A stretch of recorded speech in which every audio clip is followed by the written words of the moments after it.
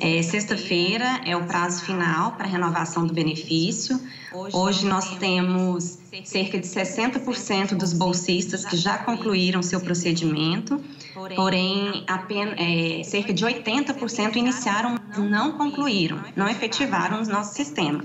Então, é importante que o bolsista siga os três passos do procedimento, que é a atualização dos seus dados cadastrais, anexação dos documentos de comprovantes de renda e, por último, finalize com uma pesquisa de satisfação do programa. Aí só assim ele vai ter a sua renovação de fato concluída. O Rubi, inclusive, eu tenho informação de que muitos, às vezes, chegam até o fim ali da etapa, mas, mas não enviam, né?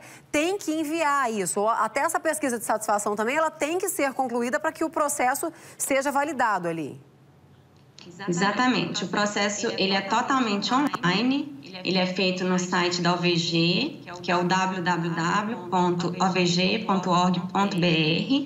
O estudante ele precisa seguir as três etapas e aí sim ele tem o seu, a sua renovação concluída.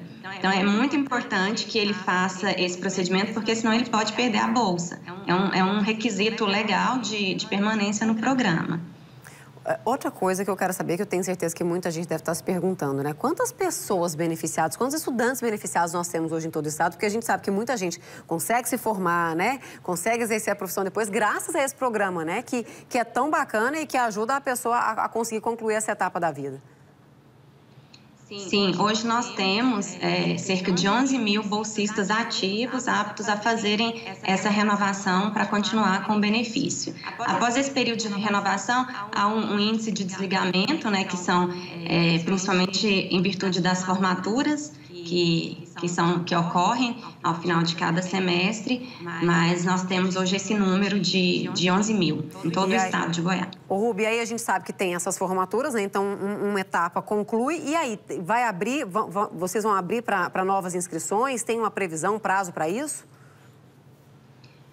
Nós não temos a data prevista para novas inscrições. Nós estamos fazendo uma série de estudos para aperfeiçoamento do programa e assim que for concluído, em breve anunciaremos aqui essa, essa data.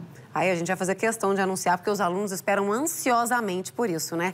Obrigada, viu, Rubia, pela participação ao vivo aqui conosco. Fica esse alerta, então, para você, estudante, para você que recebe esse benefício, que tem esse benefício, para você não perder de jeito nenhum, tá?